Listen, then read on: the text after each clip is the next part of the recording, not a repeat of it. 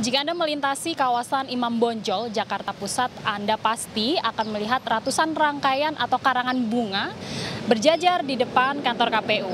Berbagai lapisan masyarakat dari seluruh wilayah Indonesia ini mengirimkan karangan bunga sebagai bentuk apresiasi mereka terhadap kinerja dari KPU. Di mana karangan bunga ini berisikan ucapan terima kasih kepada KPU atas terselenggaranya pemilu pada 17 April 2019 lalu dan juga memberikan dukungan kepada pihak KPU dalam penghitungan suara.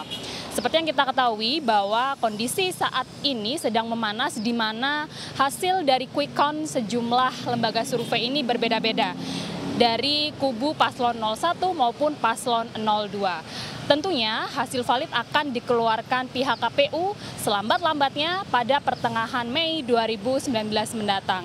Dan diharapkan masyarakat